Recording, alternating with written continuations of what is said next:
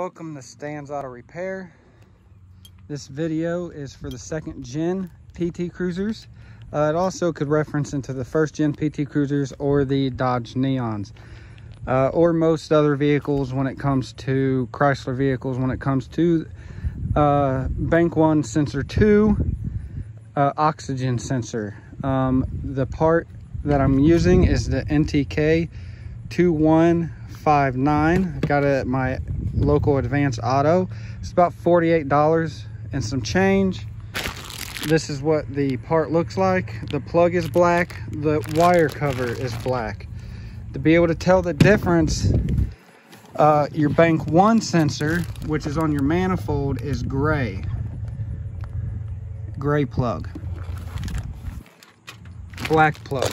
Uh, to get access to it is right down here. If your hand's small enough, you can just reach down, unplug it. You will need both hands, so you might have to uh, reach around from that angle.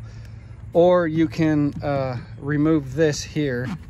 Ooh, I need to uh, tighten that. That could be a big vacuum leak.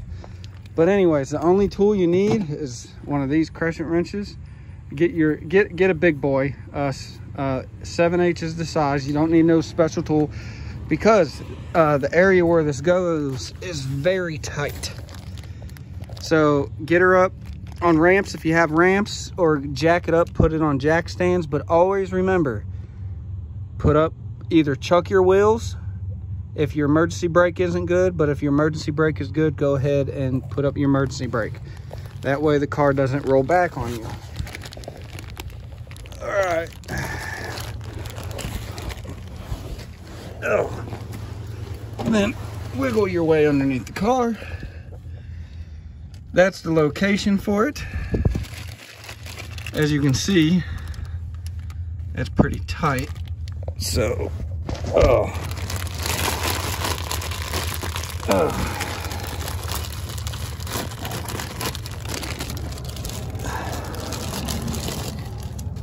Get your new one out. Uh, let me make sure y'all can still see.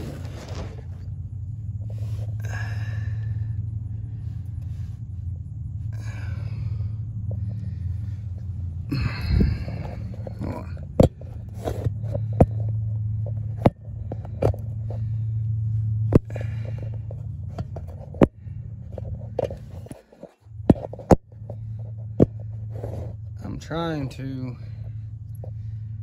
my phone to come on. Focus. This new freaking update sucks. Dang it. It does. It literally sucks. They said the camera's supposed to be better. I don't see how.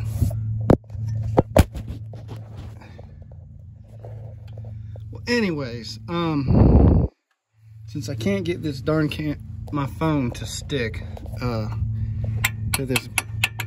This would be a transmission brace, but not on this vehicle.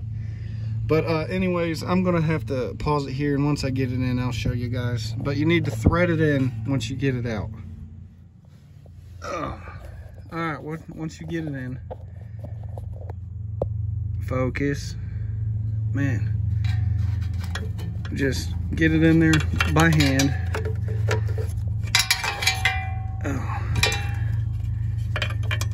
Make sure you get that up there so you can grab it.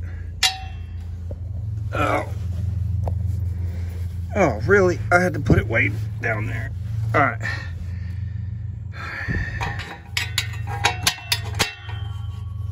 And then tighten it down. Make sure you pay attention uh, because you don't want to strip but it has a crush washer on it. So you got it. Ugh. Ugh, okay. That's tight.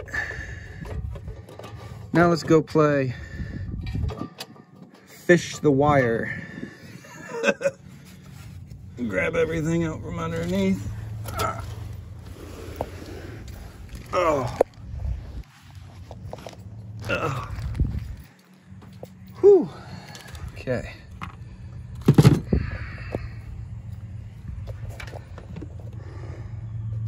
Can I see the wire? There it is. Oh. Question is, can I reach it? Uh.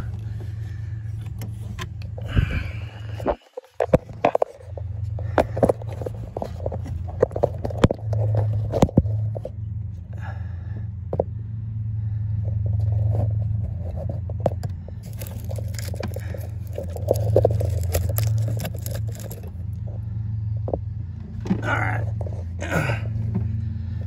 Don't.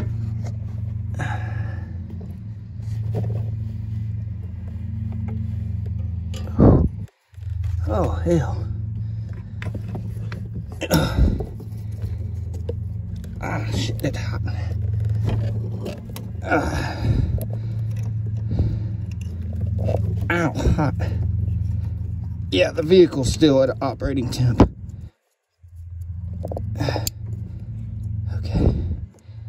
She's in there. If I remember right, this does have a red clip in it, but if not, you're good. Yeah, see, that's loose. That literally popped off. But, uh, the way I put it in is pretty much the way you'll have to get it out. But there you go. That's how you change your bank two. Uh, I mean, bank one, sensor two, downstream oxygen sensor on your PT Cruiser. Thank you for watching and always remember, if it's broke, fix it.